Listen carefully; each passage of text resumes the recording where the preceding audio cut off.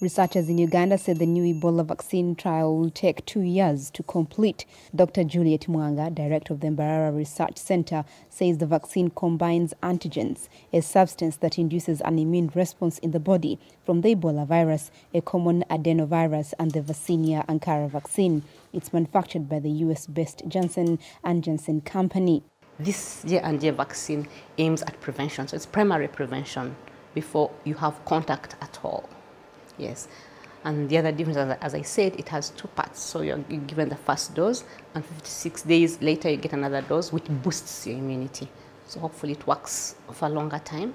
Currently, Uganda is using an Ebola vaccine by the Merck pharmaceutical company, but Mwanga says they need to try out new vaccines too. Uganda's move is motivated by its proximity to the Democratic Republic of Congo, where more than 1,800 people have died from the Ebola virus since August 2018.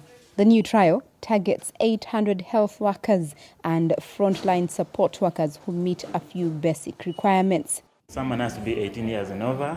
Um, then, of course, they have to be um, able to sign informed consent.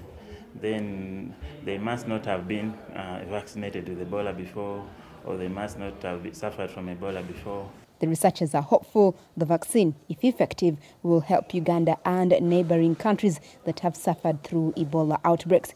Uganda has seen no new cases of Ebola in recent weeks, but health officials have been on high alert since June when two adults and a five-year-old boy who had crossed into Uganda from the DRC died of the virus.